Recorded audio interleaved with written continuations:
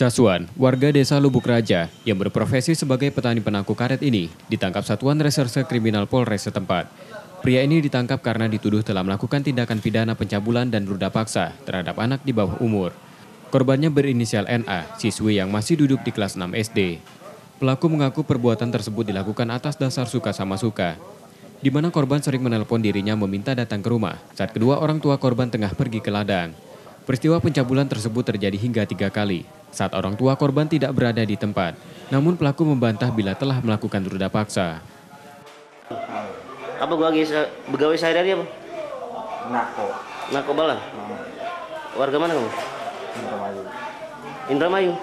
Jawa Barat. Jawa Barat. Sini jadi tempat siapa kamu nih? Ikut kakak aku.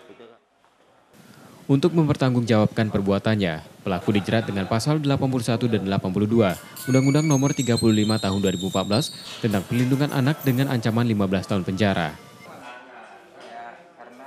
Karena mencabuli anak di bawah umur untuk korban inisial N, kemudian pelakunya selama Caswan umur 42 tahun. Untuk modus operandinya, jadi pelaku mengancam korban dengan hendak membunuh korban.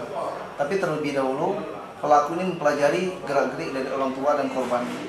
Jadi karena orang tua setiap pagi kedua orang tua korban ini selalu ke kebun, jadi keadaan rumah kosong, jadi hanya korban saja. Kini pelaku beserta barang bukti diamankan di Mapolres Ogan Komering Ulu. Setia Budi, Kompas TV, Ogan Komering Ulu, Sumatera Selatan.